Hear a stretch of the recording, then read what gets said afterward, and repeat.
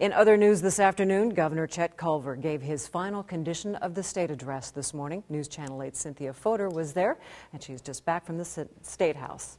And okay, we understand that uh, he had quite a bit to say today. He spoke for about 40, 45 minutes, mm-hmm. Molly, and the governor said he is proud of his record and told lawmakers he left the state in a better position than he found it. He cited his accomplishments in four areas renewable energy, especially developing the wind energy business, expanding health care for children, creating new green and information technology jobs, and disaster recovery. He said he kept his promises to Iowans and did what he said he was going to do.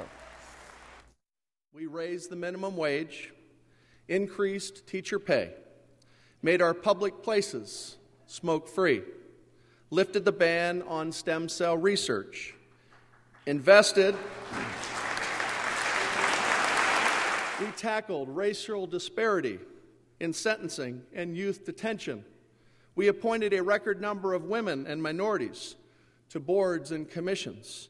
We passed the first in the nation minority impact law, and we stood tall to protect the constitutional rights for all Iowans, regardless of race, gender, or sexual orientation. And that last reference to protecting the constitutional rights of all Iowans drew a standing ovation from about half of lawmakers, along with cheers and whistles, and they really were excited about that part. Culver said he leaves office with a $950 million budget surplus and says he moved the state forward very during, during very challenging times. Molly, and we'll have more on Culver's final speech as governor on the news tonight. Five, uh, five and six. All right, yes, thanks, thanks, a lot, Cynthia.